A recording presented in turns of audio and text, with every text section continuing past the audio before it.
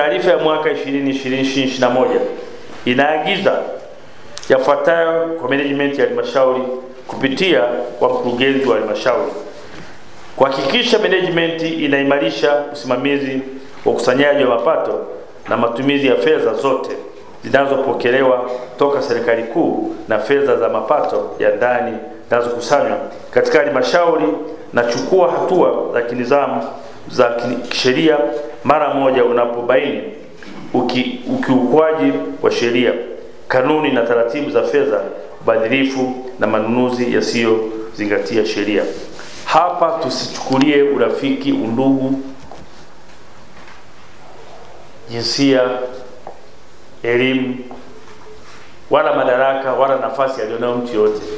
Sheria ichukue mkondo wake ili tuweze kudhibiti mwenendo mzima wa mapato. Vipaumbele ambavyo vimewekwa kwenye halmashauri yetu kwa ajili ya ukusanyaji wa mapato.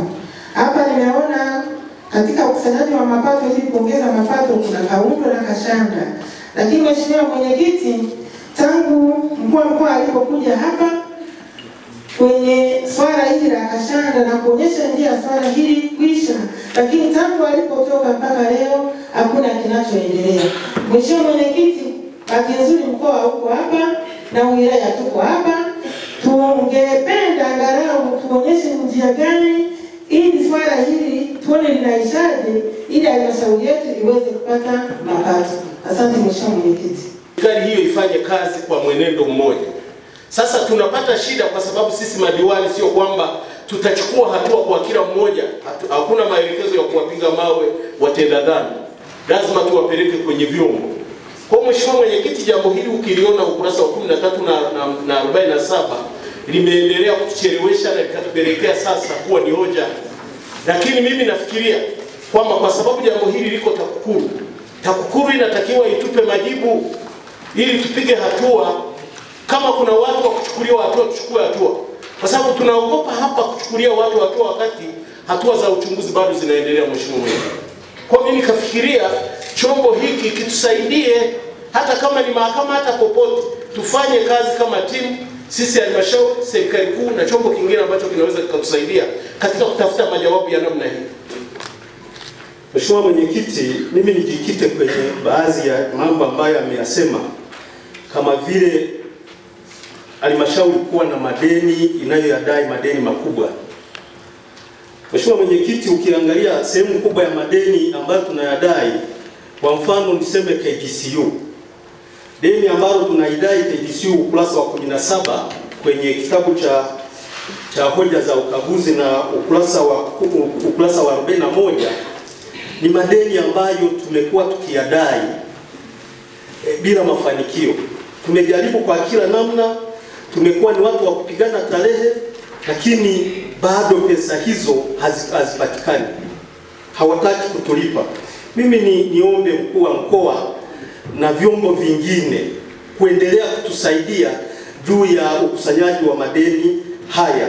Make hata mkuu wa mkoa aliyetoka aliwahi kuja hapa akasisitiza kwamba KDCU inabidi walipe deni hili. na kuhakikisha mapato ya vyanzo vyote yanakusanywa, lakini pia kuziba mianya yote ya upotevu kwa kushirikiana na mamlaka zetu mbalimbali za roa levo na vyombo mbalimbali vya serikali. Hilo la kwanza. La pili, kwa sababu halmashauri inategemea kupata mapato yaendeshe shughuli mbalimbali, management inaelekezwa kuhakikisha madeni yote ya watu wote wanaodaiwa, iwe service levy, iwe ushuru wa kahawa, iwe kodi yoyote ya vibanda, kwa kufuata pia miongozo na maelekezo yaliyotolewa na mamlaka mbalimbali, basi zote zikusanywe bila kuangalia mtu usoni, kodi zote zikusanywe na kwa wakati mara moja.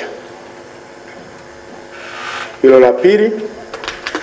La tatu, baraza linaelekeza kwamba mfumo wa ukusanyaji mapato katika vituo vya afya vyote vilivyobainishwa na CAG kuto kutokusanya na vile ambavyo hajavifikia kufikia tarehe 30 Septemba. Na bahati nzuri, Mheshimiwa mkuu wa mkoa, juzi kamati ya fedha ilielekeza na management tulikubaliana, ili naweka azimio ambalo nalijua tulikubaliana kufikia tarehe 30 Septemba mwaka huu kwenye kota ya kwanza vituo hivyo viwe vimefungiwa mfumo huo ili kudhibiti mapato. La nne, management inaagizwa, inaelekezwa kushirikiana kwa karibu zaidi na TRA, TAKUKURU, TAMISEMI na hasa kile wale watu wa kitengo cha mfumo wa LGRSIS kuhakikisha kwamba changamoto zote zilizomo zinazokwamisha utendaji zinaondolewa kwa kushirikiana na mamlaka hizo.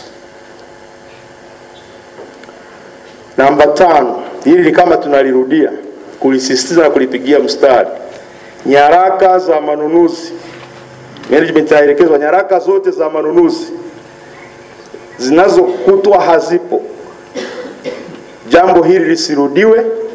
Nyaraka zote zinazokuwa zinatakiwa wakati wa ukaguzi zipatikane na mkaguzi ahakikishe anazipitia. La sita, management inaagizwa kuhusiana na mambo vihatarishi kama hayo madawa yaliyopitwa ya muda, kwa vyote kulikuwepo, ukisikia mchango wa wajumbe na mheshimiwa mkuu wa mkoa hapa, kwa vyovyote kulikuwepo na option ya kufanya. Tena mkuu hapa akaniambia polepole hapa akasema, hata kama zahanati zenu zingekuwa basi zimejaa mngetuambia tupeleke kwenye wilaya zingine, hata Chato, hata kule Buhigwe au, au, au, au Kakonko au wapi ili Watanzania kwa sababu wote hizi zinanunuliwa kwa be, kwa pesa za wata. Kama tulikuwa hatuzihitaji, kama zilionekana zitaisha muda wake, kwa nini hatukuzisema? Nafikiri ndio concept ya jambo hilo lilipotokea. Kwa hiyo swala la vihatarishi na vihatarishi sasa sio madawa tu hayo, yani hiyo ni mambo yanaweza kutokea kwenye taasisi yakaonekana ni vihatarishi visiokuwa na sababu, ni madawa, ajali mbalimbali zinaweza kusababishwa na uzembe fulani. Sasa management yaelekezwa kitengo cha kinachosimamia vihatarishi na wakuu wa idara pamoja na management kwa ujumla kuhakikisha wanapitia kila mwezi kujiridhisha kwamba maeneo yote yenye dalili za vihatarishi yamechukuliwa hatua stahiki. La, la, mwisho, la mwisho katika maazimio yetu ni management ihakikishe mara kwa mara inawasilisha mahitaji ya watumishi, kwa sababu moja kitu kilichoonekana kwenye ripoti ya CAG ni kuwa na upungufu mkubwa wa watumishi. Kwa mara kwa mara swala ufuatiliaji na kuwasilisha upungufu huo mamlaka zinazohusika ifanyike na ufuatiliaji wa mara kwa mara ufanyike kupitia ofisi zetu mbalimbali. Sasa hayo yalikuwa ni yanayotokana na ujumla wa ma, ma, ma, mjadala wa wajumbe, lakini uchambuzi pia wa mheshimiwa mkuu wa mkoa. Linalofuata ni kwamba mheshimiwa mkuu wa mkoa hapa ametoa maagizo. Niombe e, mku, e, mkurugenzi, hiyo kwanza maagizo ya mkuu wa mkoa tungeomba tuyapate e, na sisi tuweze kuyafuatilia. Najua management mtakuwa nayo, lakini sisi tuyapate tuweze kufuatilia. Lakini sasa tuhakikishe management mnayachambua na kuhakikisha utekelezaji wake sambamba na maazimio yetu haya yote ambayo yanaungana kwa pamoja, ili sasa tuhakikishe kwamba haya yote yaliyoagizwa hapa na kikao hiki yanafanya kazi. Tunachoweza kusema tu kwamba tunaweza kutekeleza maagizo yaliyoagizwa na Mheshimiwa RC, lakini tunaenda kutekeleza maagizo yaliyoagizwa na baraza lako ili sasa tuweze kupeleka ofisi ya ukaguzi mkuu wa hesabu za serikali ile maoni yako. Na mheshimiwa, tumeshakubaliana wenzetu e, tumekubaliana kwamba Yeyote anayetekeleza hoja, anayesababisha hoja, anatakiwa yeye aijibu, na akishindwa kuijibu tumchukulie hatua yeye.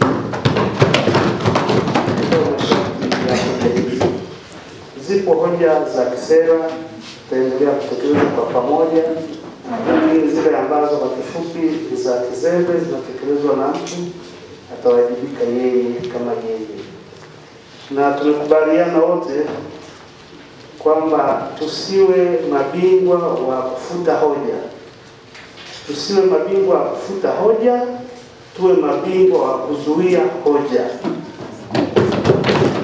Kwa hiyo swala la kusema tutaifuta kuwa bingwa kwamba nitaifuta, tumekubaliana hivyo, tuliache tuzizuie hoja ili tuende vizuri.